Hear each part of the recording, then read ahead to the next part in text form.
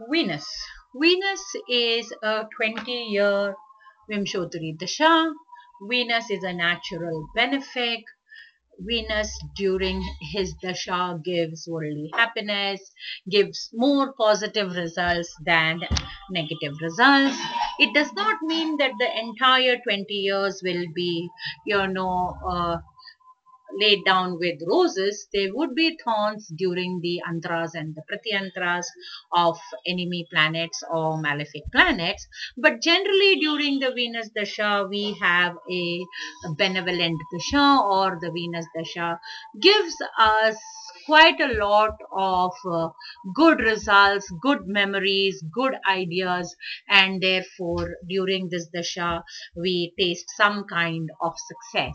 Even if uh, Venus is a functional malefic. Its natural benevolence of Venus generally give us pretty positive results irrespective of which house he is placed, irrespective of which lord he is, irrespective of, you know, mm, whether he is a natural ben a malefic, I mean, whether he is a functional malefic, he will definitely give us more benefic results or more good results uh, tinged with some kind of a negativity if he happens to rule malefic houses. The the general tendency during venus dasha is the growth uh, in in the person is uh, if he if the person is during his childhood would be good in his education in his or her education.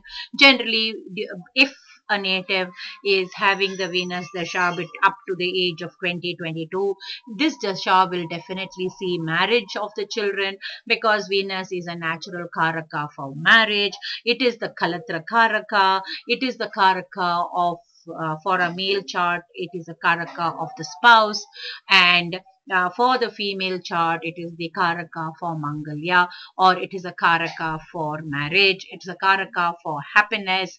Um, it is a Karaka for luxury, um, you know, enticement, uh, worldliness, uh, you know, even the odor of a person or a breath of a person changes during Venus Dasha. During Venus Dasha, the person is very gregarious, happy, um, willing to adjust, accepting, accepting that I am capable of doing something good, uh, being uh, having a positive approach to life and um, the success or the the houses where the native will success succeed will depend upon the placement of Venus and the lordship of Venus. Invariably, Venus will give us charm, courage, uh, courtesy, uh, oneness with the family, uh, oneness with the mother because Venus is also uh, Karaka for mother along with moon. Uh, therefore, during this 20 years of uh, 20 years of Venus Dasha, we can see marriage, we can see emotions, we can see happiness, we can see vehicles, uh, we can see foreign travel, uh, we can have a look at um, you know experimenting with business ventures. Venus is a uh, planet that can generally give luxurious uh, uh, living for during the dasha the uh, a weak Venus. Now, uh, many many a times, especially for uh, Sagittarius Lagna, Venus becomes a lord of the 11th and the 6th. So Venus becoming the lord of the 11th and 6th would uh, kind of be a house of uh, lord of struggle and a papi house because it is the 11th house of gains which according to Parashara is considered a papi house. Again, uh, this Venus, even if he is the lord of the sixth, during his dasha, there would be tremendous material growth during this dasha.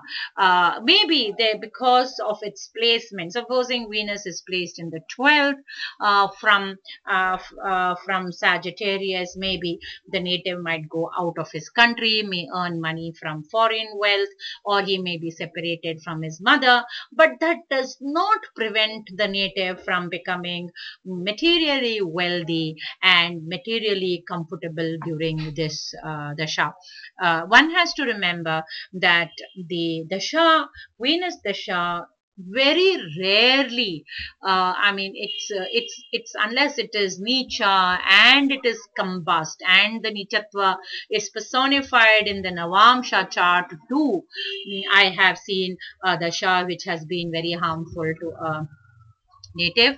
Generally however badly placed venus is however uh, negative uh, the lord he might be for a uh, for a uh, lagna it has definitely venus definitely gives some kind of a, a benefic uh, result or some kind of a benevolence. I forgot to mention in my ketu lesson that during Ketu Dasha, it is very advisable to pray to Ganpati or to pray on Tuesdays if you are a non-Hindu.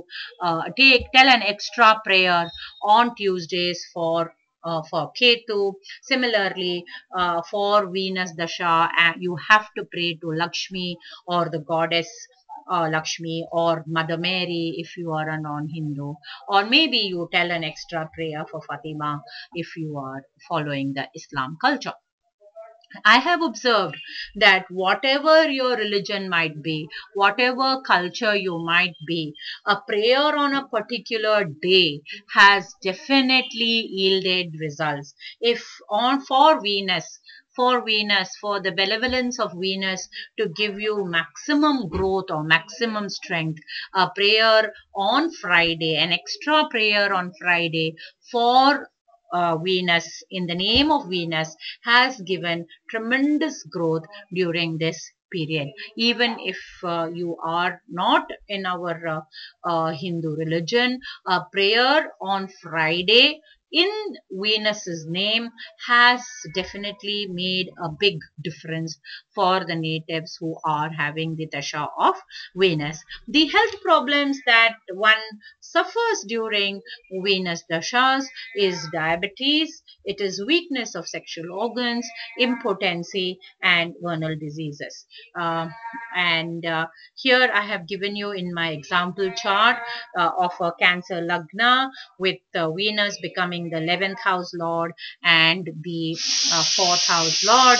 Therefore, during the Dasha of Venus, there would have been mixed results depending upon where his placement would be. There might be, if he is placed in the 12th, he might be separated from his 4th house activities and that is he might be separated from his mother but from the 11th house perspective, he might have got tremendous material or financial gains. In the next lesson, let us look at sun.